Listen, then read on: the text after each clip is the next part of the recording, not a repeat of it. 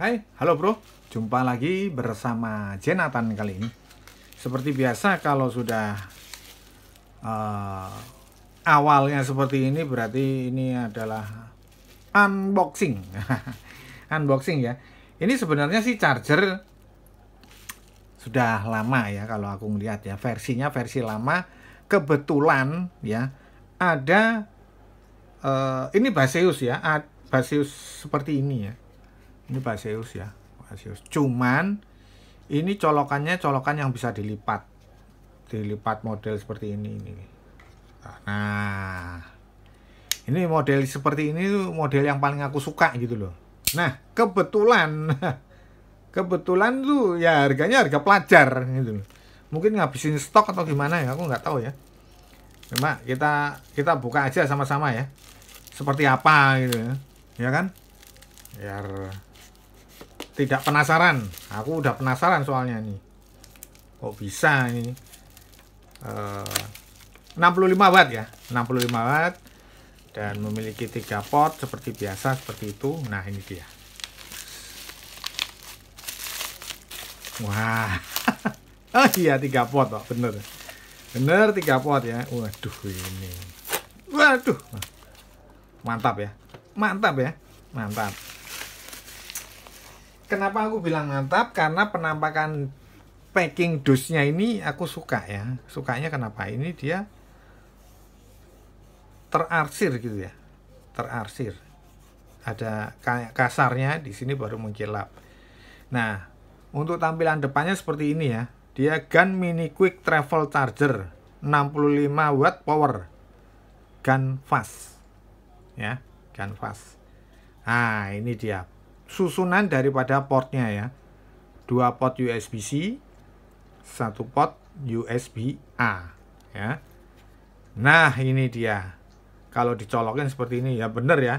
Ini kayaknya build up atau gimana ini ya. Kenapa aku bilang gitu?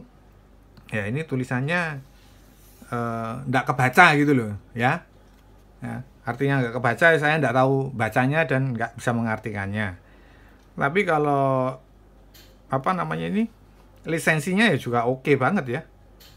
Oke okay sekali. Ya lisensinya oke okay sekali. Masih tersegel.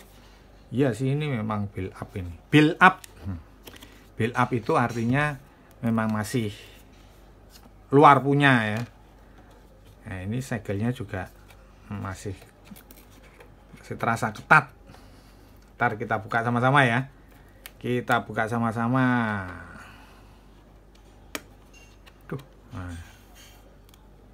buka sama-sama les wah ini mantap ini mantap mantap mantap mantap Wah, iya benar sekali ya, build up ya. Karena ya itu tadi tulisannya, oh ini ada thank you. Ada thank you-nya ya for use. Oh, follow our social media. Oh, ini ini ada kartu namanya Baseus ya. Kartu namanya Baseus. Ini oh ada kartu waranti, tapi warantinya ke mana ini ya saya rasa nggak mungkin ya ini kalau ke Basiusnya Indonesia ya. karena colokannya colokan jelas colokan lipat ya colokan lipat ini karena memang aku suka ya jadi kalau teman-teman pecinta colokan lipat ya berarti kita sejalan ah ini barang wah kecil ya nah ini yang aku suka ini jadi kecil gini nih ya. uh ayo bener-bener masih gelegel-gelegel ya Oh, ini lihat nih. Dia masih terselubung. Oh, ini loh. Dia masih terselubung semuanya ya. Nah, ini. Ini benar-benar masih terselubung ya. Dia tidak uh, apa? Aku bilang ya kalau ini aku bilang ini sangat istimewa. Kenapa? Karena produk-produk yang di Indonesia yang uh, resmi Indonesia ini nggak terselubung seperti ini malahan dia langsung disegel masih disegel ya kan jadi kita melihatnya melihatnya itu nyaman gitu loh ya nah ini kan kelihatan kalau kalau misalkan misalkan ini dibuka paksa ini segelnya sobek gitu loh.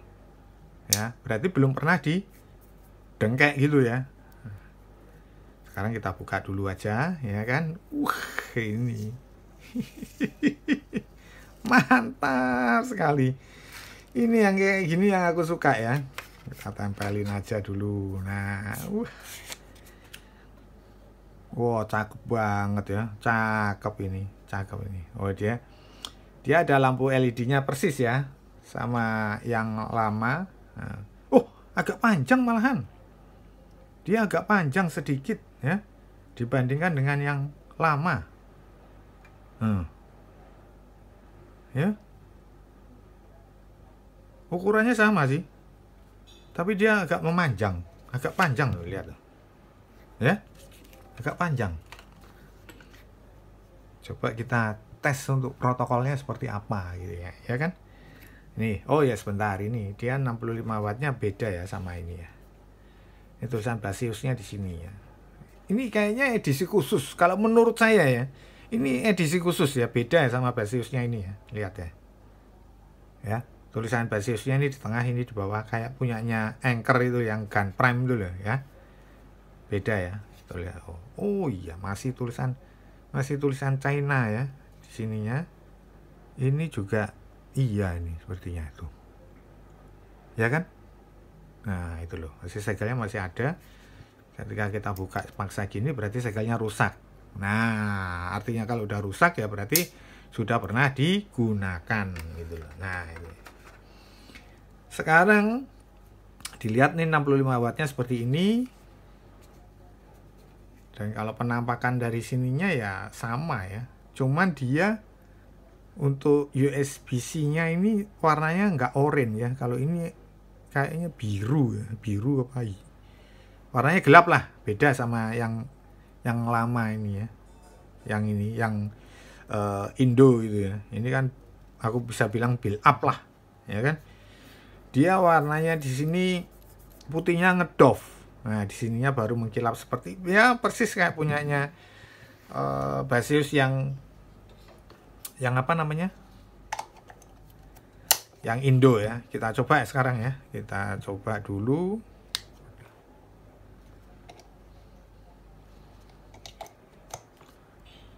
Mana ini lampunya nyala? Ah, ini lampunya nyala ya. Udah ya. Kelihatan ya. Ini lampu indikatornya nyala. Sekarang kita cek aja dulu ya. Sebelum kita observasi, ya, kita cek aja dulu.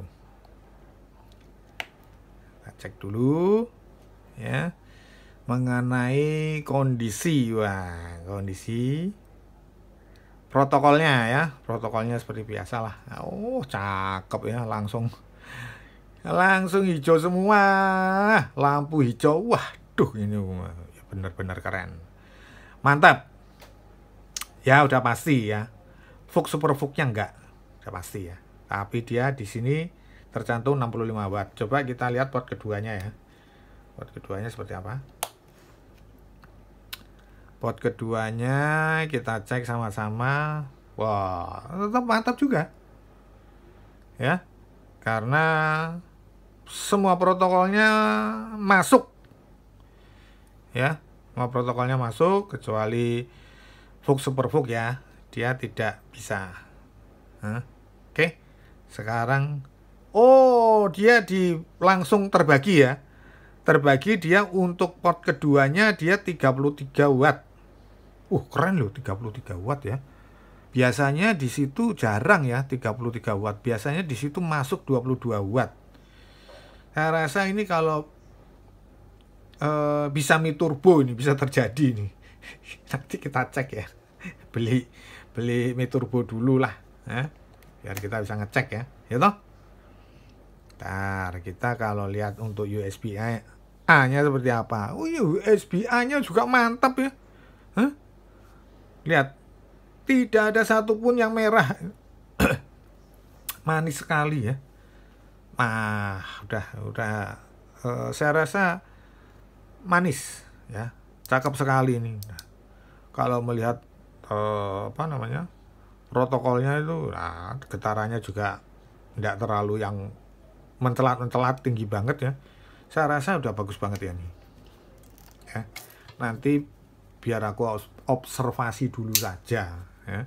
Karena kenapa? Karena kalau tidak dicoba secara langsung di lapangan terlebih misalkan untuk Mi Turbo ya kan? Kalau aku rasa ini ini masuk ya Mi Turbo. Kalau aku rasa ya karena dia mencantumkan di sini 33 watt ya. Berarti ada kemungkinan dia di Mi Turbo yang 33 watt ya. Kalau 67 watt ya jelas nggak mungkin karena di sini dia hanya 65 watt oke. Jadi saya kira cukup sekian dulu mengenai unboxing Basius 65 watt ini yang build up ini ya. Jadi eh, mungkin kalau di link deskripsi mungkin ini karena sudah habis ya, penghabisan itu. Aku lihat itu begitu aku klik itu cuma satu aja. Ya untuk informasi aja ini. Nanti untuk kelanjutannya seperti apa kita lihat review berikutnya ya. Oke. Saya kira cukup sekian dulu mengenai charger Basius 65 watt ini. Semoga bermanfaat. Jangan lupa di subscribe, like, sama komen. Oke, thank you ya.